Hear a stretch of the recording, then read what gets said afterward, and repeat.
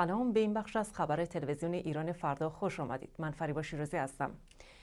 اکبر هاشمی رفسنجانی رئیس مجمع تشخیص مسلحت نظام ضمن نکوهش کسانی که با اعمال خود امنیت جامعه به خصوص امنیت روانی جامعه را به خطر میاندازند ابراز امیدواری کرده که عاملان اسیدپاشی های اخیر در اصفهان شناسایی و مجازات شوند. به دنبال انتشار خبرهای اسیدپاشی بر زنان در اصفهان بسیاری آن را در ارتباط با مبارزه با بدهجابی و امر به معروف و نهی از منکر ارزیابی می کنند نمایندگان مجلس شورای اسلامی 29 مهر ماه طرح حمایت از آمران به معروف و ناهیان از منکر را با اکثریت آرا تصویب کردند. دبیر ستاد احیای امر به معروف استان تهران روز جمعه گفت گروه های امر به معروف و نهی از منکر مدت هاست که در کشور فعال هستند و دایره عملکرد آنان رو به افزایش است.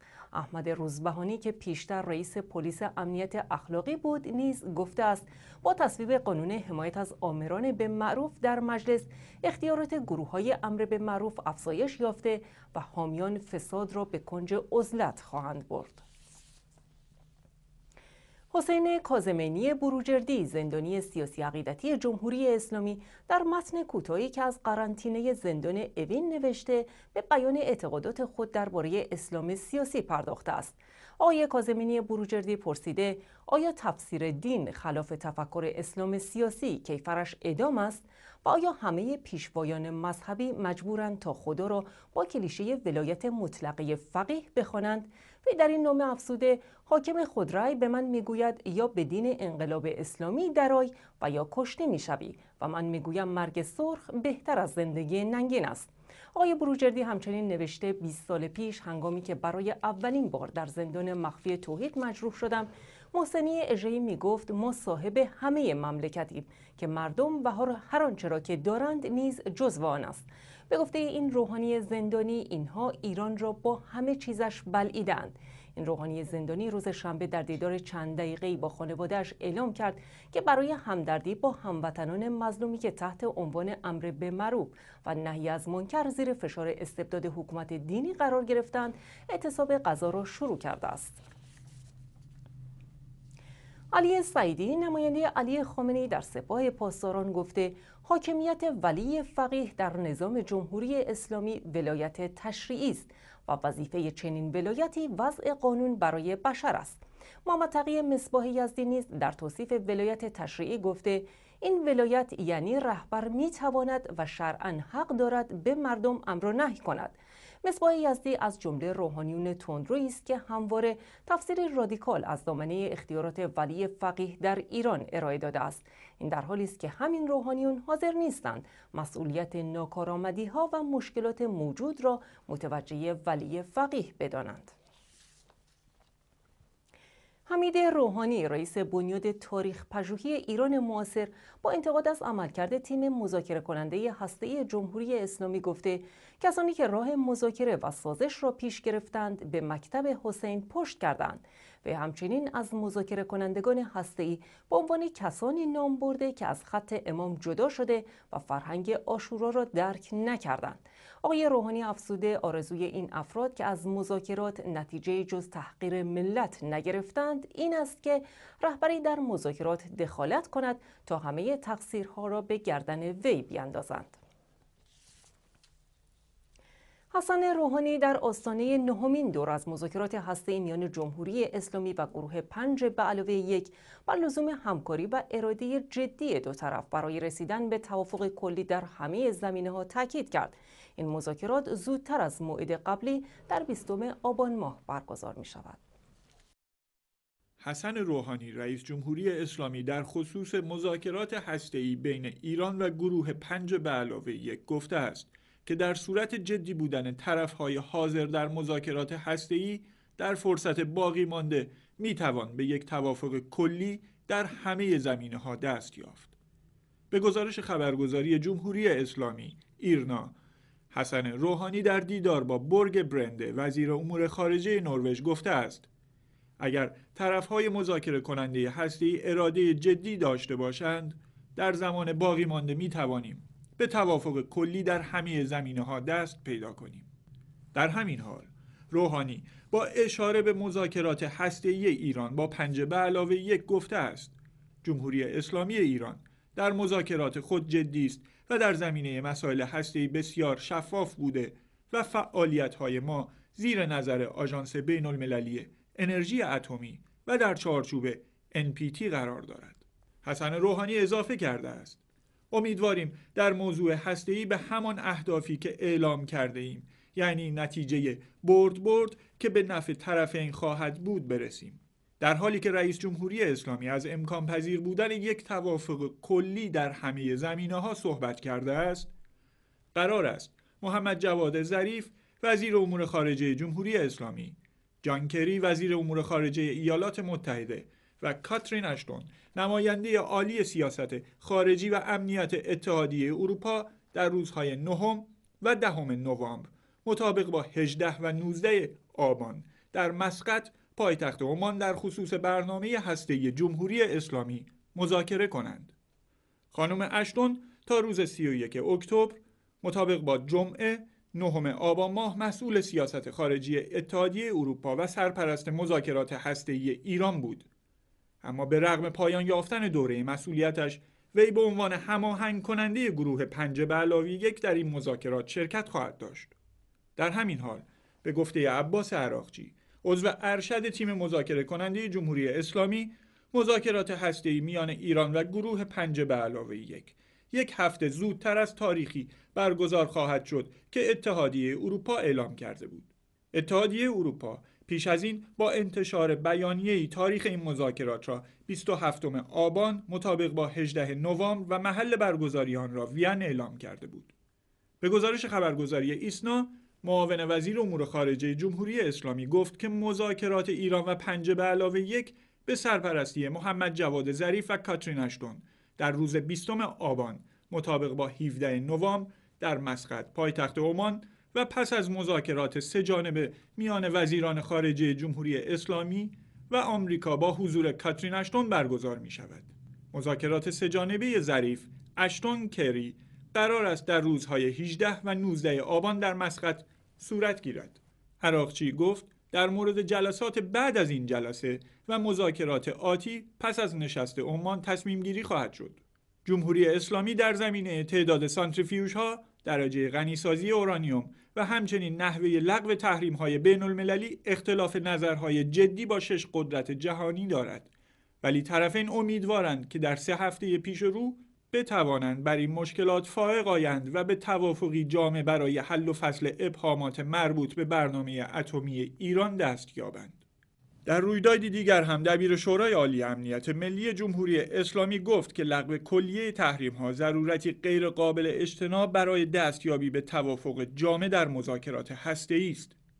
به گزارش ایرنا، علی شمخانی در دیدار با برگ برند وزیر خارجه نروژ گفت تیم مذاکره کننده هسته ایران با اختیارات کافی همه ابتکارات ممکن را برای دستیابی به توافق با حفظ حقوق هسته جمهوری اسلامی به کار خواهد گرفت. وندی شرمن معاون وزارت امور خارجه آمریکا و سرپرست هیئت آمریکایی در مذاکرات گفته است در صورت عدم دستیابی به توافق ایران مسئول ناکامی ها شناخته خواهد شد. مذاکرات بین جمهوری اسلامی و گروه پنج به علاوه یک برای دستیابی به یک راه حل جامع و نهایی بین جمهوری اسلامی و گروه پنج به علاوه یک طی ماههای اخیر در جریان بوده است و بر اساس توافق قبلی اکنون دو طرف تا سوم آذر ماه مطابق با 24 نوامبر فرصت دارند تا به یک توافق نهایی دست یابند. های غربی گزارش دادند در یکی از محله های دوه پایتخت قطر خودروهایی با لوگوی دولت اسلامی یا داعش در حرکت هستند. دولت قطر در پاسخ به نگرانی درباره حضور این خودروها اعلام کرده این افراد تحت کنترل مداوم قرار دارند. اگرچه قطر به اطلاف جهانی تحت رهبری آمریکا علیه داعش پیوسته اما این کشور همچنان سیاست دوگانه‌ای در مقابل خلافت خودخوانده دولت اسلامی در پیش گرفته است. برخی منابع گزارش دادند که جنگندههای قطر تنها شب نخست حملات با نیروهای ائتلاف همکاری کردند. با این حال یک منبع امنیتی نزدیک به دولت قطر به رویترز گفته است جنگنده های این کشور بعدها نیز در حمله ها شرکت کردند اگرچه این همکاری رسما تایید نشده است. داعش با صدور یک آگهی در توییتر از استخدام متخصصان به ویژه مدیر پالایشگاه نفت در مناطق تحت سلطهش در سوریه و عراق خبر داد. زیانهای گسترده وارد شده به گروه دولت اسلامی به دلیل سوء مدیریت در پالایشگاه تحت کنترل این گروه تروریستی علت انتشار این آگهی اعلام شده است. داعش که 11 پالایشگاه نفت در سوریه و عراق را در اختیار دارد. روزانه دو میلیون پوند از فروش نفت درآمد دارد اما به دلیل حملات هوایی ائتلاف علیه مواضعش اختلاف مهندسان در اداره پالایشگاه ها و عدم وفاداری کارمندان. به این گروه بیش از سه چهارم درآمد نفتی داعش کاهش یافته است. گروه اصائب الحق رسما اعلام کرد همه اتباع آمریکایی در خاک عراق را مورد هدف قرار خواهد داد. محمد تباتبایی معاون دبیر کل این گروه این مطلب را در سفری که به ایران داشته در گفتگو با یک خبرگزاری دولتی بیان کرده است. آقای تباتبایی گفته تنها اعضای سفارت آمریکا در عراق از حملات نظامی این گروه مسئول خواهند ماند. اصائب اهل الحق نام گروه نظامی در عراق است که با حمله آمریکا به این کشور فعالیت‌های خود را از سر گرفته و از سوی جمهوری اسلامی حمایت مالی و نظامی می شود. مجوز شرعی فعالیت نظامی این گروه را محمود هاشمی شاهرودی و آیت الله کاظم حائری صادر کردند. محمد عبدالملک المتوکل دبیرکل حزب لیبرال یمن در پی سوء قصدی در صنعا پایتخت این کشور کشته شد. این سوء قصد در حالی است که روز شنبه توافق بر سر دولت وحدت ملی در یمن به امضا رسیده بود. خبرگزاری فرانسه گزارش داد که محمد عبدالملک المتوکل دبیرکل حزب لیبرال یمن با شلیک گلوله‌ای در صنعا پایتخت کشته شد. دختر المتوکل به خبرنگار خبرگزاری فرانسه گفته است که روز دوم نوامبر یک موتورسوار مسلح به پدرش تیراندازی کرده و او را به قتل رسانده است. گفته می شود که مهاجم پس از این سوء قصد متواری شده.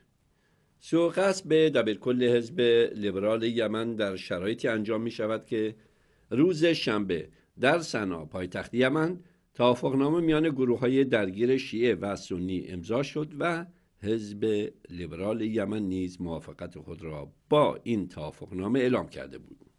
شورشان شیعه یمن و مخالفان سنی آنها روز شنبه دهم آبان ماه در صنعا پایتخت یمن توافقنامه را در این ارتباط در حضور جمال بن عمر نماینده ویژه سازمان ملل در یمن امضا کردند. بر مبنای این توافقنامه عبدالرب منصور الهادی رئیس جمهوری یمن و خالد بها نخست وزیر این کشور مسئول تشکیل دولتی شدند که امکان اداره کشور را داشته باشد. به این ترتیب گروه های مختلفی که تاکنون در یمن با یکدیگر می جنگیدن پس از اجرایی شدن این توافقنامه و تشکیل دولت وحدت ملی موظف هستند دولت مرکزی را پشتیبانی کنند. عبدالعزیز چوباری یکی از اعضای حزب لیبرال یمن توافقنامه را تفاهمی میان گروه های مختلف خواند که بر مبنای آن وزارتخانه مختلف زیر نظر گروههایی با دیدگاه های مختلف اداره خواهند شد. شیعیان حوسی پس از اشغال صنعا پایتخت یمن استان ساحلی الهدیده در سواحل دریای سرخ را نیز به تصرف خود درآوردند. این استان به دلیل آنکه دارای دومین بندر بزرگ یمن است از اهمیت استراتژیک یگانه ای برخوردار است. شیعیان خواستار دخالت بیشتر در امور سیاسی یمن هستند. سنی های یمن اما با حمایت نیروهای شبکه تروریستی القاعده تا مدتها کوشیدند بر شیعیان غالب آیند اما اقدامات آنها تاکنون بی نتیجه مانده و تنها به ادامه بحران در یمن منجر شده است. یمن از سال 2012 میلادی پس از سقوط علی عبدالله صالح رئیس جمهوری این کشور 25 میلیون نفری با ناآرامی های دائمی روبروست در همین حال دولت آمریکا از شورای امنیت سازمان ملل متحد خواستار تحریم علی عبدالله صالح رئیس جمهوری سابق یمن و دو رهبر از شورشیان حوسی شد. به گزارش خبرگزاری رویترز دولت آمریکا در این رابطه به شورای امنیت اعلام کرده که این سه نفر خطری برای برقراری صلح و ثبات در یمن هستند.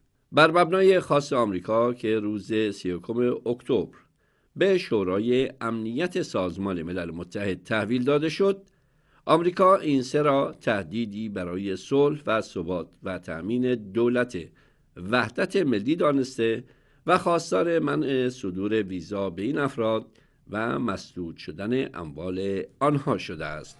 برای اجرایی شدن تحریم علیه این سه نفر باید هر پانزده کشور عضو شورای امنیت سازمان ملل متحد با این رأی موافقت کنند. مسئول جدید سیاست خارجی اتحادیه اروپا با انتقاد از برگزاری انتخابات ریاست جمهوری و پارلمانی در شرق اوکراین آن را مانعی بر سر راه صلح دانست و تاکید کرد اتحادیه اروپا این انتخابات را به رسمیت نمی‌شناسد. به گزارش رویترز فدریکا موگرنی وزیر امور خارجه سابق ایتالیا که از روز شنبه جانشین کاترین اشتون شد در بیانیه افزوده است این انتخابات غیر قانونی و نامشروع است.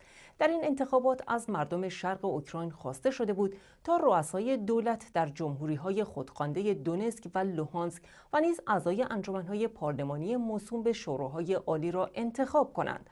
بنا به گزارش ها الکساندر زاخارچنکو نخست وزیر جمهوری خودخوانده دونسک با کسب حدود 81 درصد آرا در انتخابات ریاست جمهوری این منطقه پیروز شده است. روسیه از این انتخابات حمایت اما غرب آن را محکوم کرده و گفته این انتخابات را به رسمیت نمی‌شناسد.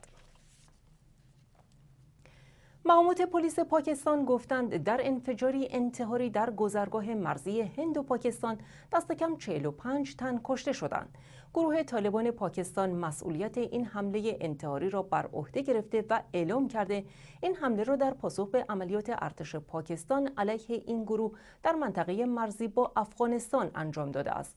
رئیس پلیس پنجاب پاکستان گفته است شمار کشته شدگان این انفجار به 45 نفر رسیده است. ناندرا مودی نخست وزیر هند در بیانیه این انفجار را تروریستی خوانده و آن را محکوم کرده است.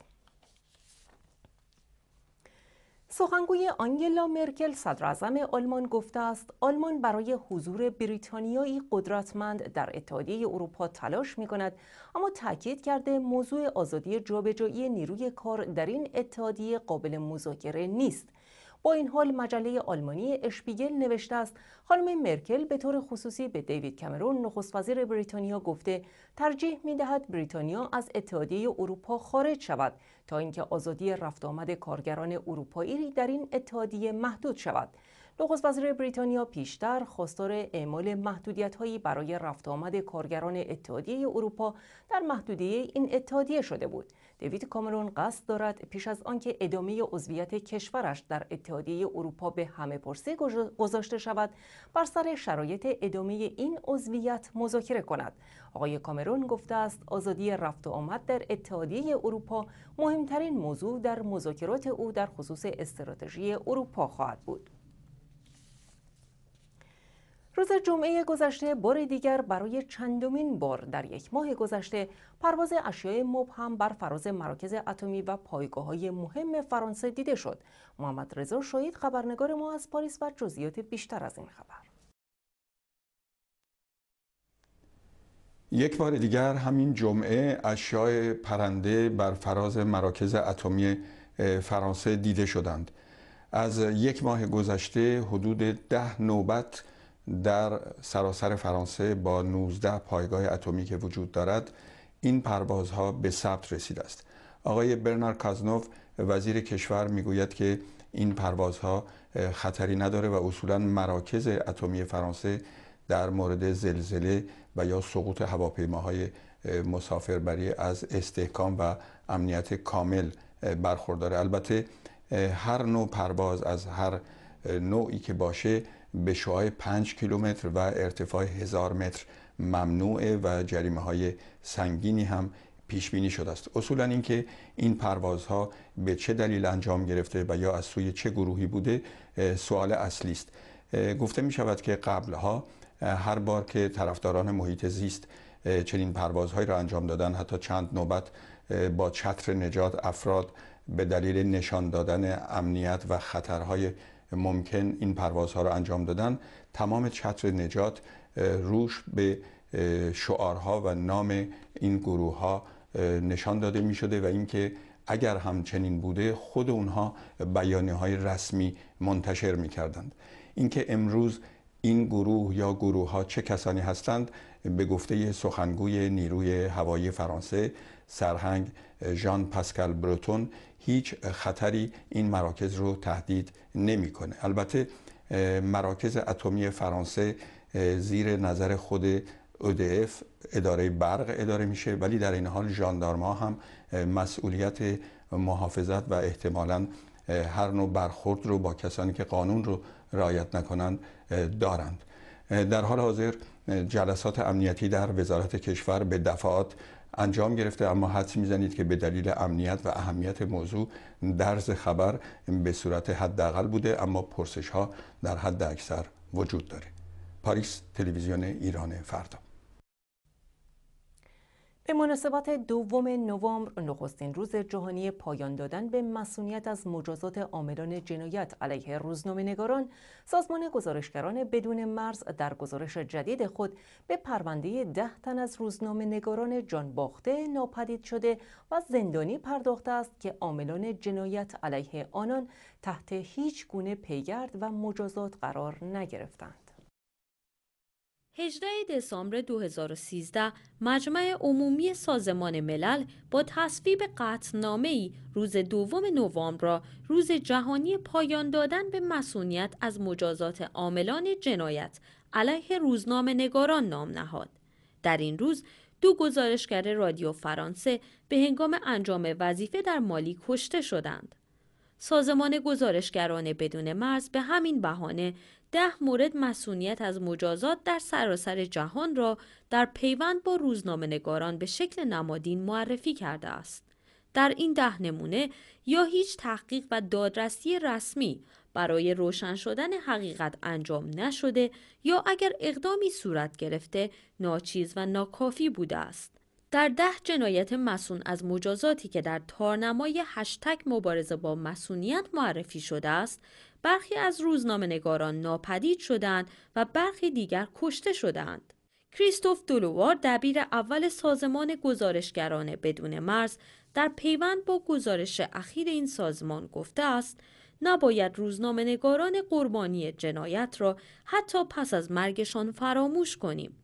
ده موردی که ما معرفی کرده ایم نمادهایی از دهشتناکی مسئولیت از مجازات هستند و در اصل قربانی عدم تمایل برخی از مسئولان در سرکوب جنایات علیه کسانی شدند که تلاش کردند جهان را آنگونه که هست نشان دهند.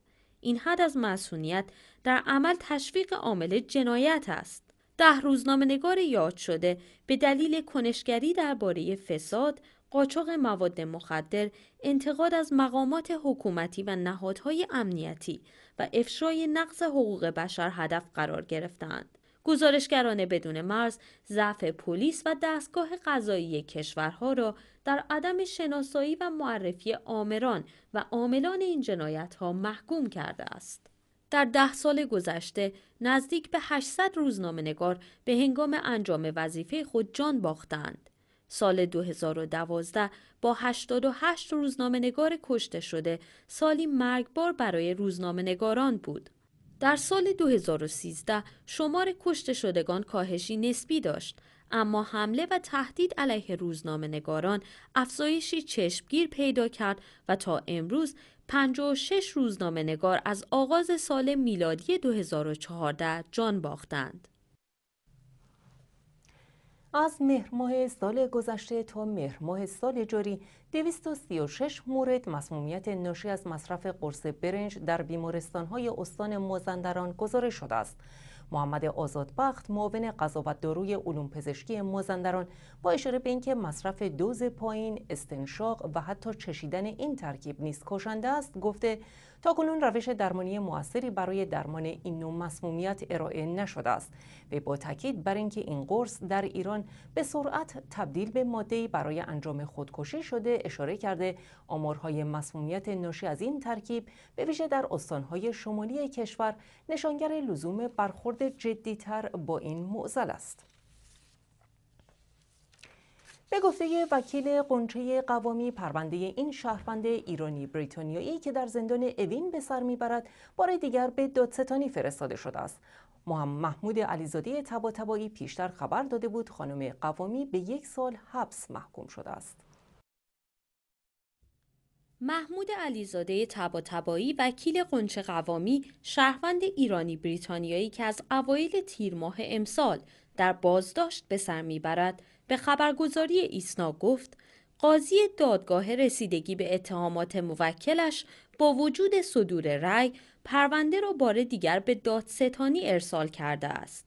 وی گفت هفته گذشته که من به دادگاه مراجعه کردم رئیس دادگاه حکم را که صادر و امضا شده و از مرحله تایپ برگشته بود به من نشان داد ولی روز گذشته که مراجعه کردم رئیس دادگاه گفت که پرونده را به دادستانی فرستاده ایم. به گفته وکیل غنچه قوامی در حکمی که قاضی پرونده پیشتر به وی نشان داده مجازات موکلش یک سال حبس در نظر گرفته شده است. محمود علیزاده تبا تبایی پیش از این به خبرگزاری ایلنا گفته بود که این حکم هنوز به وی و موکلش ابلاغ نشده است.